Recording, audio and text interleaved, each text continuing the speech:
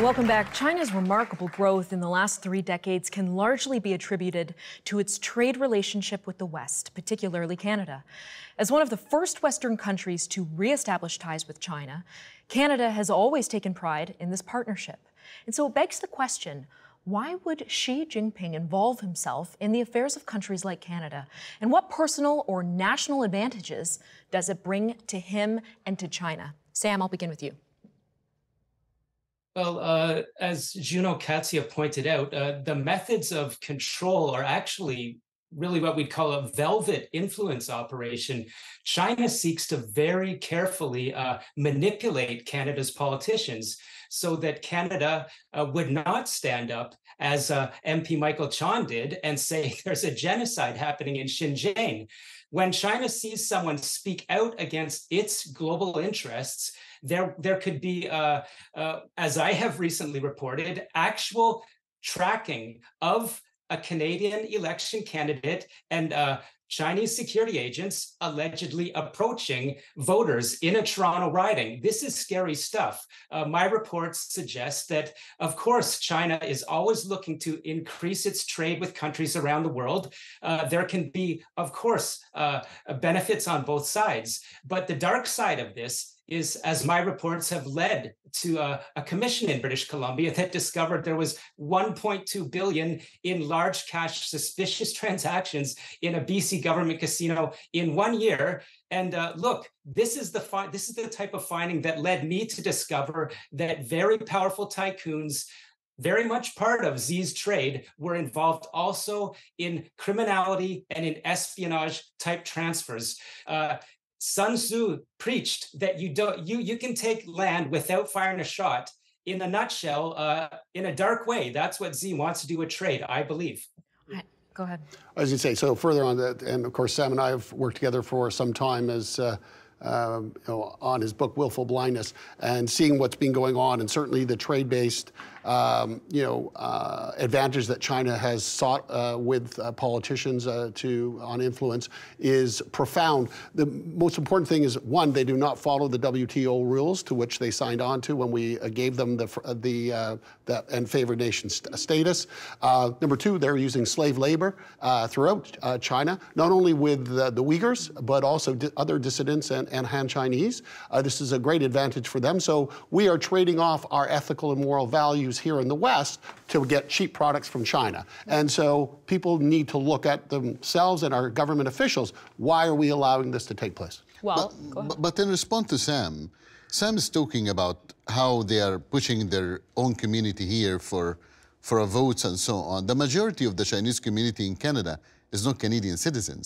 They are residents. Mm -hmm. So if you are not a Canadian citizen, you cannot go vote. Mm -hmm. I believe that they are harassing their own community, not just for the election reasons, mm -hmm. but also it's very important to collect the information about the Canadian technology, the Canadian people, the well, minorities. and that goes back to the police stations and the spy that's, balloon, that's why correct. they need to establish those.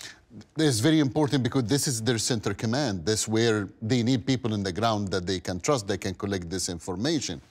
None of this can disturb us more once again, I would just bring it back again to our Canadian government. The FBI reacted very swiftly up, upon receiving this information. There was an arrest by the FBI. There was attacking in every this police station, and they shut down immediately.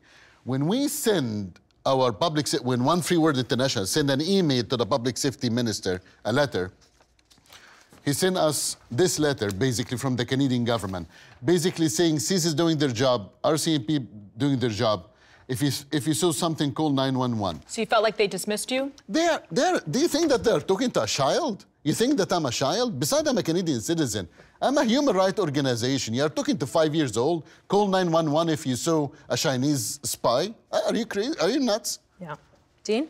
No, I was going to say very quickly, on you know, the, that arrest that took place, that police officer was trained in British Columbia at the British Columbia uh, um, Institute, Policing Institute, uh, and ultimately, so we've been training the police on our techniques, and now they are intimidating our citizens in Canada and throughout the world. Sheng, as a member yes. of the Chinese community, have you personally experienced any threats from the CCP? I think I can. I have been re, um, uh, experiencing all the ways that they can do. Uh, besides, they can they they, they kill me uh, physically. Yeah, they're. Can you can you describe some of the ways in which that's happened?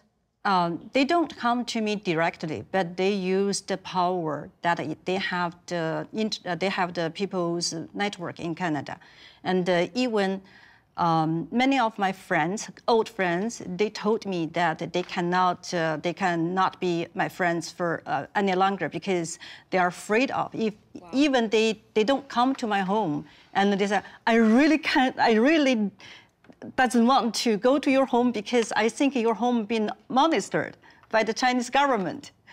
And uh, it's a kind of um, uh, like, like a, like a, uh, cancer is just uh, spread everywhere. I would jump in there and say I, I really want to comment that as a reporter that's uh, done the shoe leather work, has gone into uh, Chinese Canadian, Uyghur Canadian, Hong Kong communities, I can concur fully that there is there is fear. People will, I will say, do you know about the United Front Work Department? People will nod and take notes. They'll they'll uh, write an intelligence agency down, but they won't say the words. This is a real fear, and this is what caused me uh, really to be outraged by the special rapporteur's report. He said there's nothing wrong in diaspora communities in Canada, when in fact we know that powerful agents and it's the networks involved, not just the police stations, the community knows they're out there. What's more, as I've said before, they know that some of the actors are, are, are gangster thugs. So uh, this is a situation where some people involved in political donations, getting close to our politicians, are the same ones allegedly involved in police station networks. And the situation is getting worse. Last point I have just reported Justin Trudeau's government has been asked repeatedly to mount a full of government response against these covert police operations. My most recent report for the Bureau showed Trudeau did not act. Complete inaction. That is a good segue into our next segment, but just very quickly before we go, does Iceland have any concerns about intervention, interference by the Chinese? Is that a worry well, we haven't seen uh, any Chinese interference in our politics, uh, but uh, those allegations that I have been following here in Canada are, of course, uh, worrisome and underlines that uh, we need to be cautious yeah. and uh, have our, our, eyes open. I just came from Vancouver, and I spoke to a couple of politicians there.